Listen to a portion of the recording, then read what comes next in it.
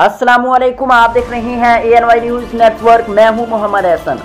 खबर शामिल करते हैं कमीर सिटी से। हमारे सीनियर रिपोर्टर मोहम्मद शहजाद फरीदी की रिपोर्ट के मुताबिक, कमीर शरीफ में जदीद सहूलियात से आरास्ता खूबसूरत नादरा ऑफ़िस का शानदार अफ्ताह कर दिया गया।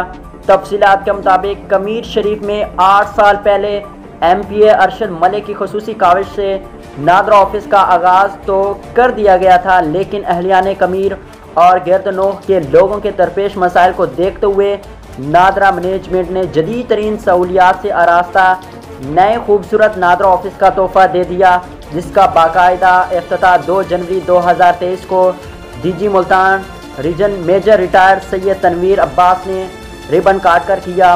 इस नए ऑफ़िस में मर्द व ख़वान माजूर अफराद के लिए अलग अलग काउंटर, साइलिन के लिए बैठने का बेहतरीन और कुशादा इंतज़ाम मस्जिद वाशरूम्स और इंफॉर्मेशन डेस्क जैसी सहूलियात भी मैसर हैं। डी एम नादरा साहिबाल इमरान सदीक ने अपने ख्याल का इजहार करते हुए अहलियान कमीर को इस नए ऑफ़िस की मुबारकबाद दी और यकीन दहानी करवाई कि आगे भी नादरा की तरफ़ से आवाम को सहूलियात देते रहेंगे। नादरा ऑफ़िस कमीर के इंचार्ज जनाब लियाकत अली की शब रोज़ मेहनत और खसूस दिलचस्पी की बदौलत इस इलाके का बेहतरीन ऑफ़िस बनवाने में अपना भरपूर किरदार अदा किया। इस नए जदीद ऑफ़िस के क़्याम पर अहलियान कमीर ने नादरा मैनेजमेंट का और इस ऐसा इकदाम पर शुक्रिया अदा किया और खराज तहसीन भी पेश किया।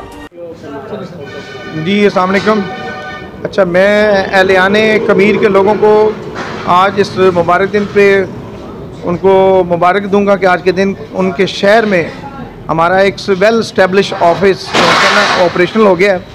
ताकि जो आवाम की को नादरा के रिलेटेड जितनी सर्विसेज़ थी, उनके लिए उनको आना पड़ता था और बड़ा हमारा जो पहले सेटअप था, वो बड़ा पथेटिक था।